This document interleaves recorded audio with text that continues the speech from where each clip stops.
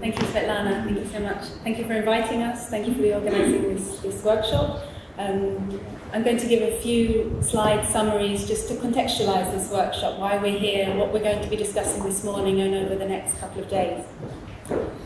So, you've seen these logos on uh, the programme of the, the workshop, and I just wanted to explain what each of these uh, organisations are. Obviously, you're familiar with the SUZI and SAEE uh, organisation, which is the um, national association dealing with earthquake consequences and causes in, in uh, Serbia. It's also a member of IAEE. So the SERA project is a Horizon 2020 European project. So it obtains funding from the European Commission. It has a number of partners from all across Europe. And in a moment, I'll just tell you a few more things about the SERA project. EUCENTRE is um, a centre in Italy. It's a partner within the SERA project. It's a centre for training and research in earthquake engineering. And um, we are leading the work package within SERA on the development of a European seismic risk model. And then you've seen GEM, the GEM logo, the Global Earthquake Model. This is a non-profit public-private partnership. It's also hosted and located in Pavia, where the EUCENTRE is in Italy. And they're driving a global collaborative effort to develop global seismic risk model and sources, uh, resources for assessing seismic risk, so software, databases, and models. So the SERA project, it's been running now for just over two years. Um, it has the objective to integrate data, products, infrastructure and know-how on both seismology, engineering seismology, but also earthquake engineering.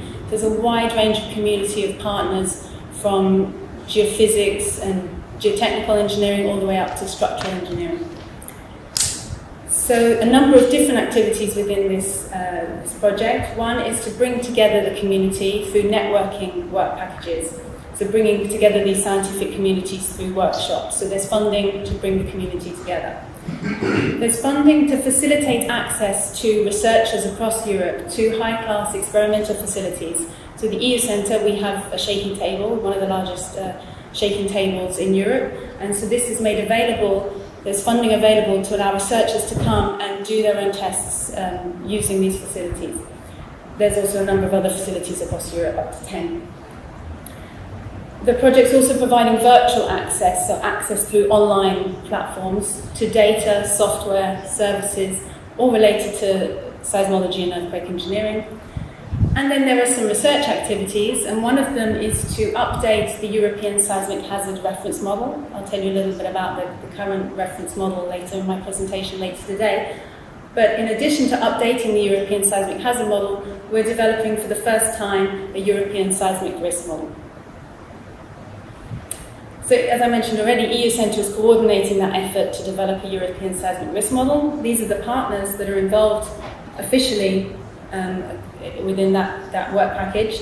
So nine partners from six different European countries.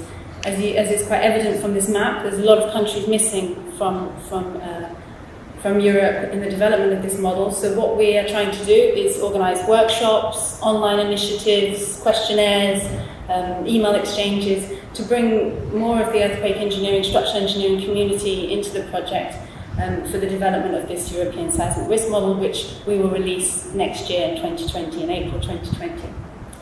Later today, you'll be hearing about the global earthquake model, the global earthquake seismic risk model. In December last year, they released for the first time a global seismic risk model, and what we plan to do is to replace the European component of that, Euro that global seismic risk model with the output of this SERA project. We've had a number of workshops so far over the last two years. Um, one on European exposure modelling, and uh, quite a few participants of this workshop came to that uh, exposure modelling workshop in Pavia right at the beginning of the project. We had another on physical vulnerability, um, discussing how physical vulnerability should be estimated, what are the best practices, best uh, guidelines and methods to use. And we've also had workshops looking at site amplification modelling, because the work package that deals with the seismic hazard stops at a reference bedrock. But for our seismic risk analyses, we need to bring in that site amplification to estimate the ground shaking at the surface. So we've been organising workshops to bring together the community to discuss how we can fill in that missing piece, that gap. And then this workshop here is actually our first regional workshop that we're having within the SERA project. So, and we really hope that this is the first of many and that there will be other regional workshops as well in the future. We currently have submitted a proposal for a continuation of SERA, what we're calling the SERA Plus project. And in that proposal, we have requested a large amount of funding for regional workshops. So hoping that that proposal is accepted over the next four years, we should have many, many more regional workshops, also training workshops. Today we'll tell you about the software OpenQuake engine that we're using for our risk calculations. We want to organise training workshops as well within the region. So the presentations today and the, the next two days, this morning we want to introduce you to the global earthquake model. So because this European risk model will find its way within the global earthquake model, we have a presentation from Dr. Vitor Silva, who'll be telling us about the methods that they're promoting, the standards, the tools and the software that are being developed for seismic risk assessment.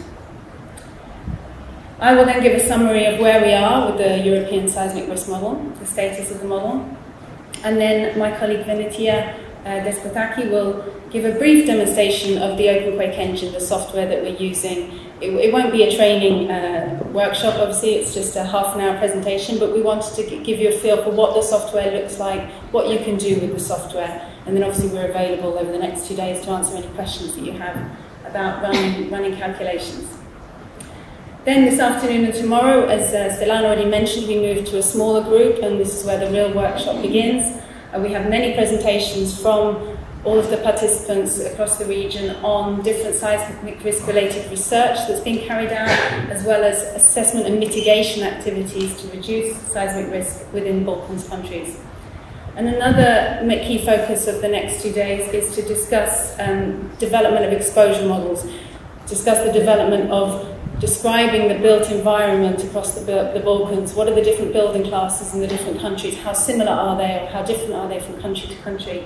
Uh, we already have the first proposal of a European exposure model that obviously covers the Balkans. We'll be sharing that and, and hopefully getting feedback and improving that model.